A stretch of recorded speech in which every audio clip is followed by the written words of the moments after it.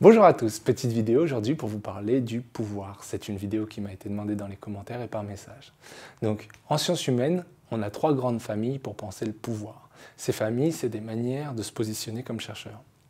Je crois que le pouvoir, ça fonctionne comme ça. Et donc, bien sûr, chaque famille a ses concepts, ses auteurs, et il faut faire attention et il faut être capable de bien se situer. Donc après, je ferai un petit exemple de quelqu'un qui est mal situé dans une famille ou une autre. Donc, nos trois pouvoirs principaux. Le premier, c'est celui qu'on pourrait dire le pouvoir organisationnel, de l'organisation en fait.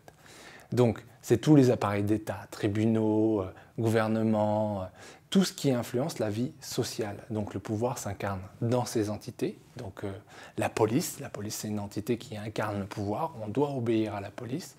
Et donc, ou à l'armée. Et donc on essaye justement de comprendre comment le pouvoir s'affecte, s'utilise, est mobilisé par les policiers ou les militaires ou les juges ou les médecins. Donc c'est vraiment quelque chose qui est en rapport avec des entités. Le deuxième, qui est celui de l'essence, donc on naîtrait avec du pouvoir. Par exemple, le roi, il naît avec du pouvoir. Et il est pensé en forme de capital, si vous voulez, un peu comme de l'argent ou une réserve d'énergie. Euh, dans les jeux vidéo, on dirait qu'il commence à 1000 points, et puis plus il utilise ses points, moins il en a, et puis à la fin, il n'a plus du tout de pouvoir. Bien sûr, il peut en gagner en réussissant des quêtes. Euh, l'équivalent, euh, si vous faites des achats, par exemple, vous avez 1000 euh, dollars ou 1000 euros, et puis vous commencez à dépenser et acheter, arrive un moment où vous n'en avez plus. Bien sûr, vous pouvez toujours en gagner. Donc l'idée, c'est que le pouvoir, c'est une naissance.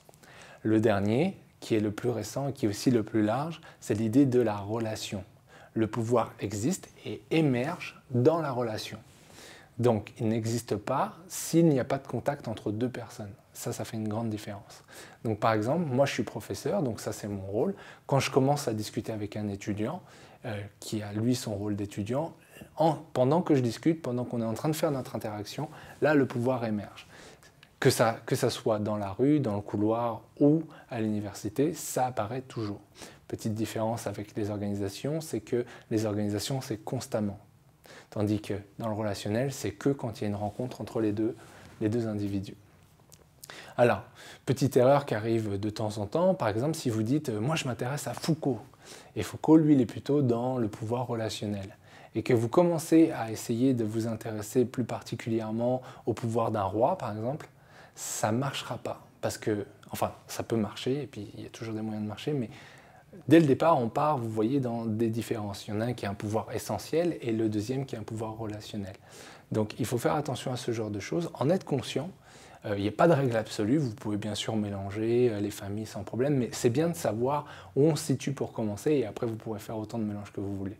Donc euh, je vous remercie d'avoir vu cette vidéo. Bonne recherche.